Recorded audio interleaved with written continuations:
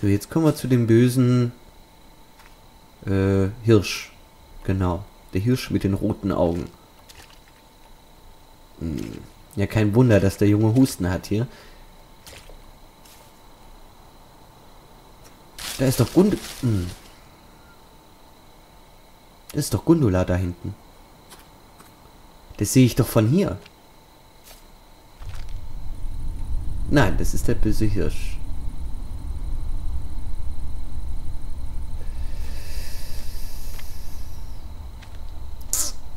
Okay. Die Frage ist, sollen wir jetzt dem Blauen folgen? Oder da oben ist ja auch noch was. Naja, vielleicht sterben wir. Vielleicht auch nicht.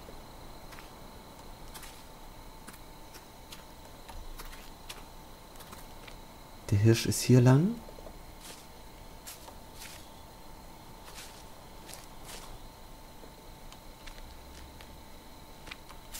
Okay. Wir können uns aber nicht... Ich muss mal ganz kurz schauen, ob wir kriechen können. Äh, Control? Äh, Keyword? Run? Ah! Steuerung. Ähm.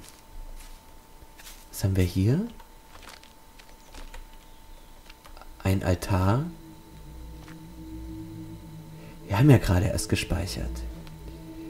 Das mache ich mal nicht. Aber was ist das? Wir können keine Fotos machen, oder? Das habe ich jetzt natürlich nicht geschaut. Ich habe jetzt nur total selektiv. Äh, Use. Inventory. Okay, nee. So was haben wir nicht. Okay, was heißt das denn? Nee, wir speichern.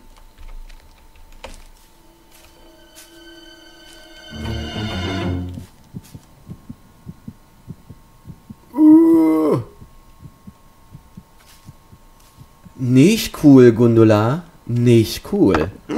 Oh, Gundula. Benimm dich.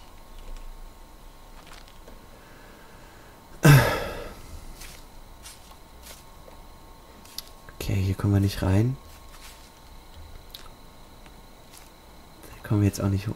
Gundula!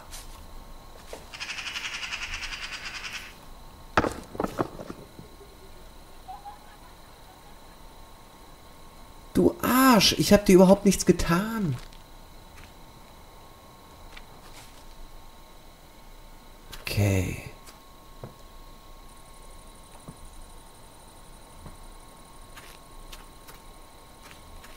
Okay. Oh, erstmal wieder beruhigen.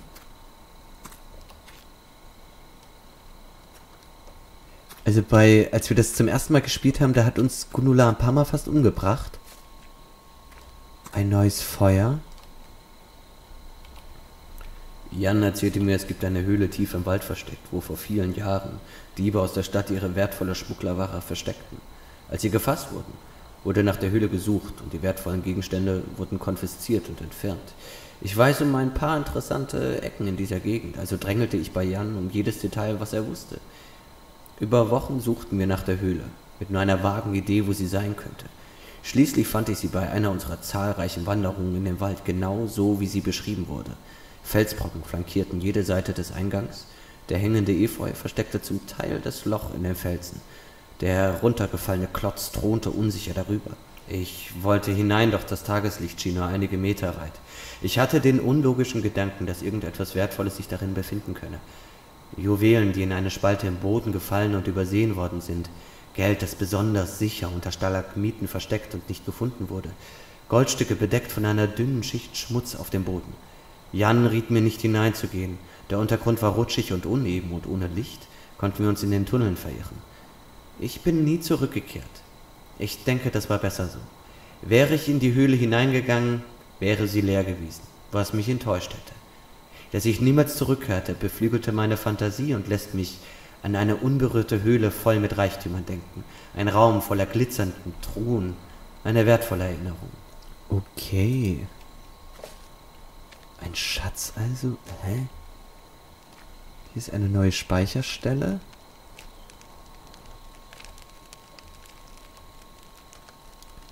Okay, die werden wir jetzt aber mal nutzen. Wenn das geht. Okay. Wir haben gespeichert. Und sind mal gespannt. Gundula? Ja, wusste ich's doch. Hätte mich auch gewundert.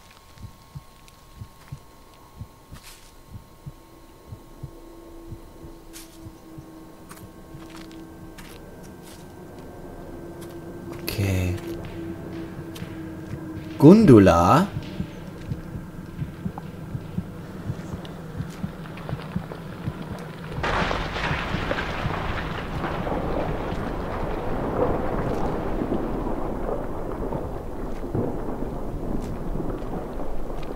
Da konnten wir jetzt gar nicht. Ich habe es ja versucht. Aber ich konnte da nicht rein. Warum? Warum konnte ich da jetzt nicht hoch? Wieso habe ich das nicht geschafft? Schaffe ich es jetzt? Na, wir werden mal sehen.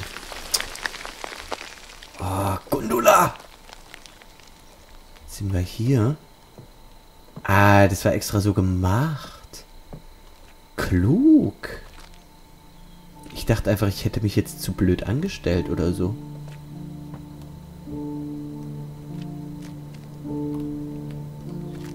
Aha, und da müssen wir jetzt runterspringen und dann...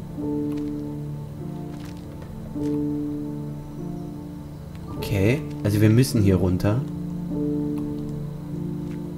Äh, wir können nicht hier runter, okay. Hier können wir auch nicht runter.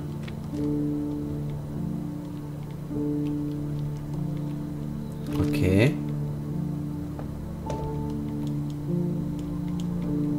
Nee. Ah, wir können hier noch höher. Ah, okay, okay, okay. Alles klar. Stimmt es? Ja, scheint mir so.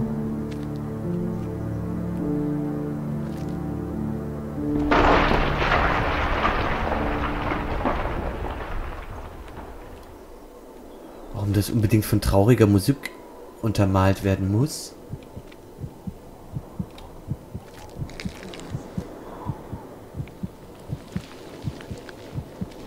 Warum denn schon wieder dieser durstige Herzschlag?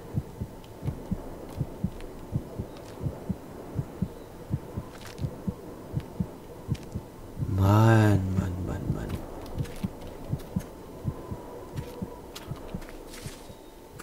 Oh. Kurz kratzen.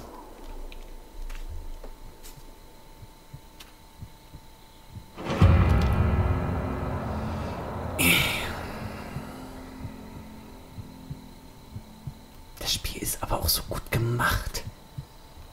Das ist ja furchtbar. Müssen wir den Fortschritt jetzt speichern? Nee, eigentlich nicht. Ähm, kurz mal ins Inventar schauen. Hier haben wir jetzt eigentlich alles außer dieser Speicherdinger gefunden. Wo müssen wir jetzt hin? Gundula, benimm dich. Benimm dich. Müssen wir jetzt einfach zurück zum Haus, oder?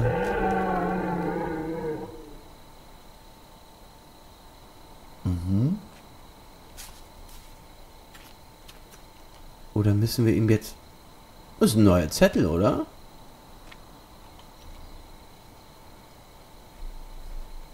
Go to the house. Hm, ob ich auf so eine Anweisung hören soll? Ja, ich weiß es nicht. Aber erstmal folge ich jetzt dem Hirsch, bevor ich zu dem Haus gehe. Der Hirsch ist doch hier hochgerannt, oder?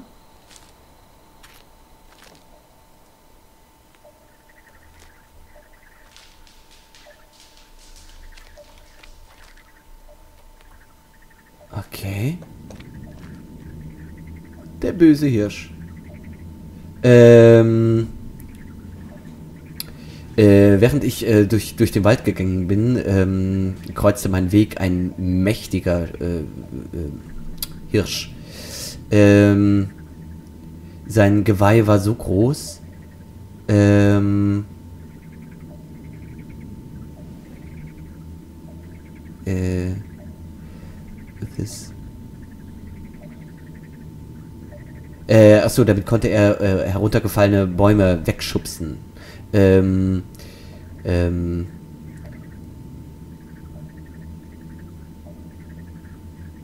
äh, hätte ich nur meine Knarre dabei, dann wäre das eine exzellente Trophäe. Äh, aber morgen möchte ich zurück und ähm, hier an diesem Ort nach ihm suchen. Okay. Okay. Ja, ja, dieses äh, Lesen, man versteht es, aber man kann es nicht in deutsche Worte fassen in dem Augenblick. Ähm, und da ist man dann halt die ganze Zeit immer so blöd am Suchen, deswegen will ich die anderen Texte auch lieber halt geordnet übersetzen. Sonst ist das nur Gestotter. Oh, und da sind wir wieder hier. Und es wird dunkel. Es ist jetzt mit einem Schlag sau dunkel geworden.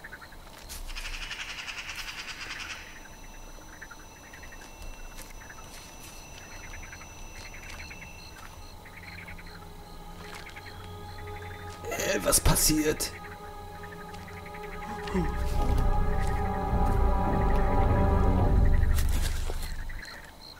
Okay, herzlich willkommen zurück. Mir ist gerade das Spiel hier abgeschmiert. Ähm, aber so richtig, ne? Ähm, und ich habe äh, gerade überprüft, ob die Aufnahme da ist. Es tut mir leid, ich war ein paar Mal nicht im Bild, wenn ich im Bild sein hätte sollen und war nicht im Bild, wenn. Nee, und war im Bild, wenn es hätte nicht sein sollen. Ähm, okay.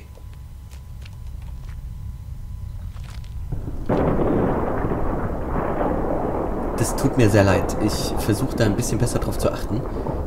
Hier wird ein Opfer angebetet.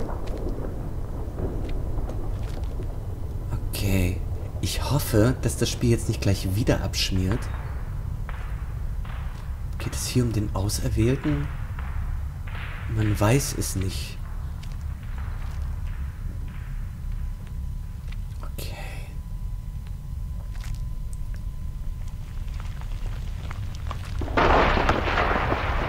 Uah. Okay. Hm. Und hier, das ist der böse Gott, ein Stier oder irgendwas. Bringt die Menschen um. Und an der Stelle hier war es mir jetzt abgeschmiert, das Spiel.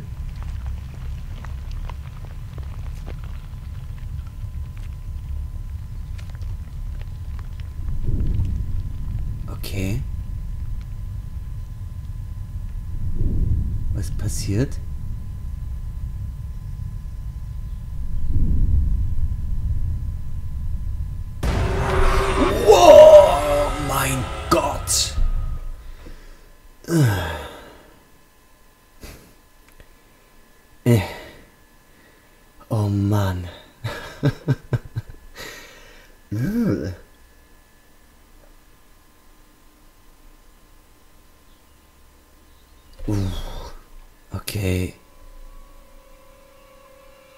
Wir jetzt? Wo wachen wir jetzt auf?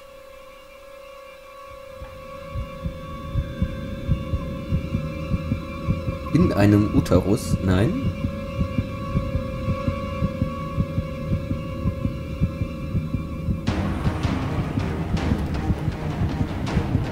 Uh, wegrennen, wegrennen, lauf ins Licht!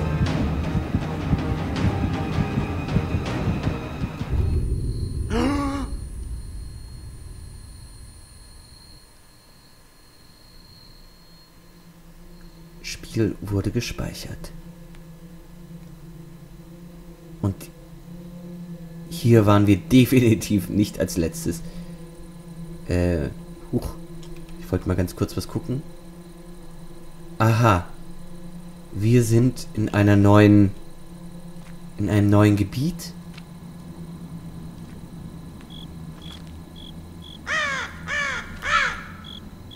Boah, muss man erstmal verdauen. hier. Oh nein!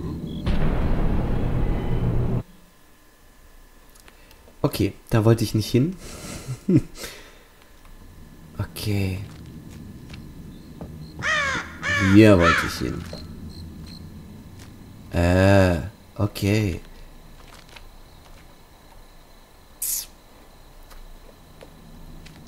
Ja, jetzt weiß ich gar nicht, wie ich das alles schneiden soll, dadurch, dass ich so komisch im Bild dann bin, wenn ich es nicht sein soll. Naja, ich werde das schon hinkriegen.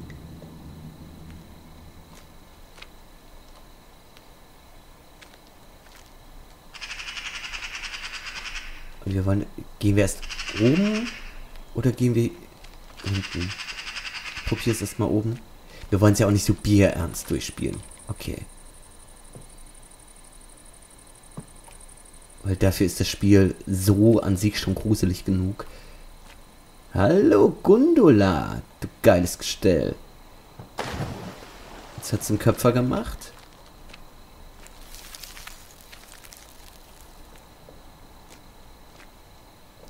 Was ist das hier? Okay, hier kommen wir nicht weiter. Oh, okay. Oh, das ist ein 10 Meter Turm. In den Wald reingebaut. Das ist doch ganz hübsch eigentlich. Uah. Das wollte ich jetzt so an sich eigentlich nicht. Ich hoffe, jetzt kommt nicht der böse Fisch.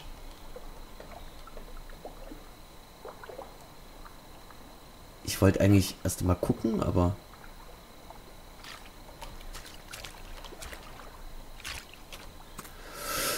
Hm, hier leuchtet es wieder blau.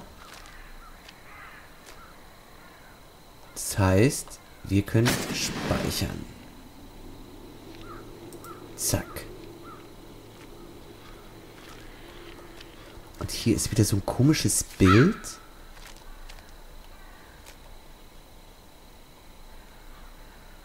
Das erstmal aussieht wie ein Phallus, aber... Nee, kann ich überhaupt nicht einordnen. Es sind zwei Tore und da steht irgendwas in der Mitte. Auf einem Sockel. Okay. Naja. Hier geht's wahrscheinlich weiter. Äh, okay, wir sind hier. Da ist ein Haus. Da ertrinkt man. Da ist ein Tor. Da ist ein Apfel, den haben wir beim letzten Mal schon kennengelernt. Mhm. Und hier unten scheint es erstmal nicht weiterzugehen. Aber ich werde mir dieses Gebiet erstmal ganz schnell angucken. Ach so. Ach so, nee, ist jetzt in unseren Notizen mit drin.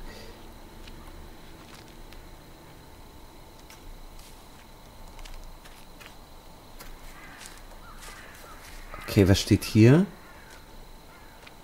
Ertrinken, Ausrufezeichen.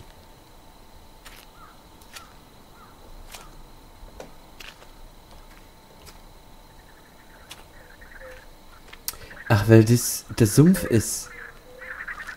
Ja, das ist klar. Na, da müssen wir aufpassen. Ja, das stimmt. Ist wieder die Mücke? Sollen wir hier überhaupt... Also, ich glaube, nein. Also, aber wir können ja hier hin. Oh, lauf! Lauf! Lauf! Uah.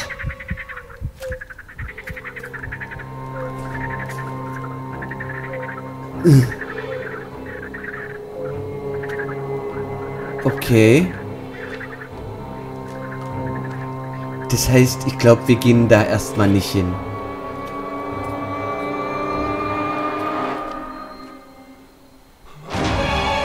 Ups. Hallo. Und jetzt?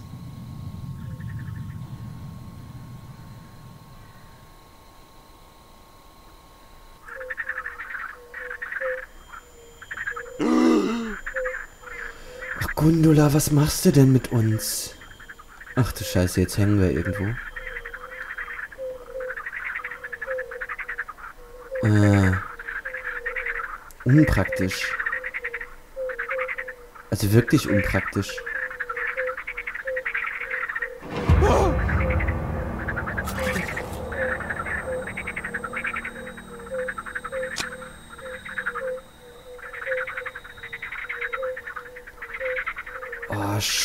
Scheiße. Ich ahne es.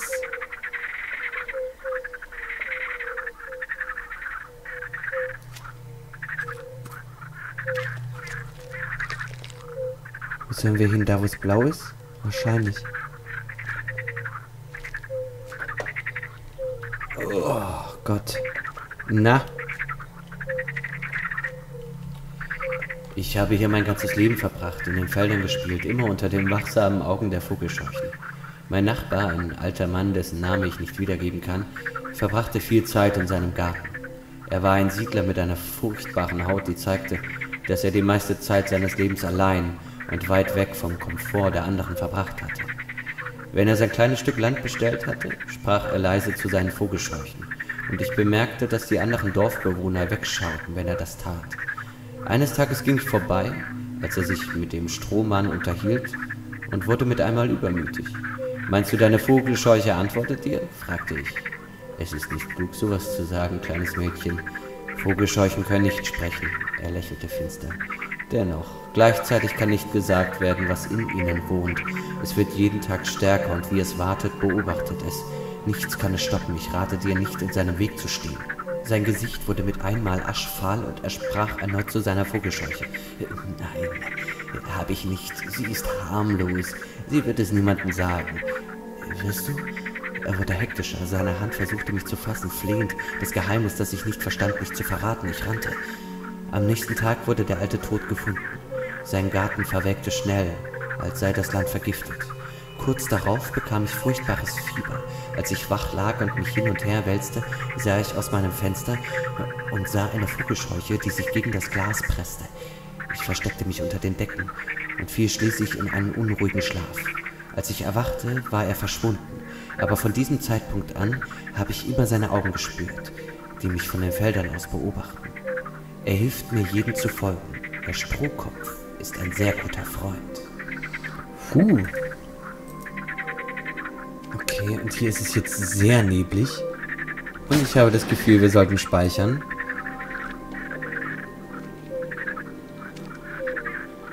Und ich habe das Gefühl, jetzt müssen wir rennen.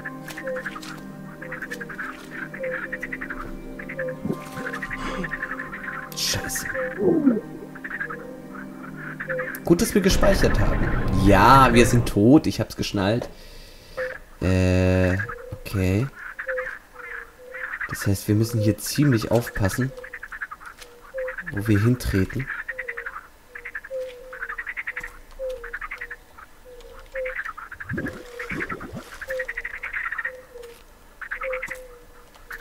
Ich hoffe, hier kommt jetzt nicht irgendwo einfach was aus dem aus dem Gebüsch gesprungen. Das würde mich jetzt ein bisschen in Unruhe versetzen. Hm. Scheiße. Okay, auf die dürfen wir auch nicht. Oder nur kurz, ja. Uh. Anstrengend, scheiße.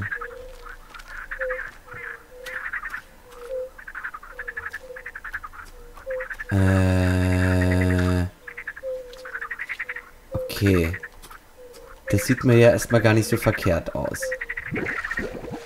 Und das sieht auch ganz gut aus.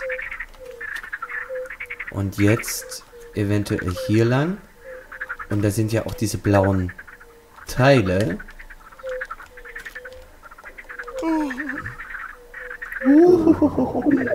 Mm.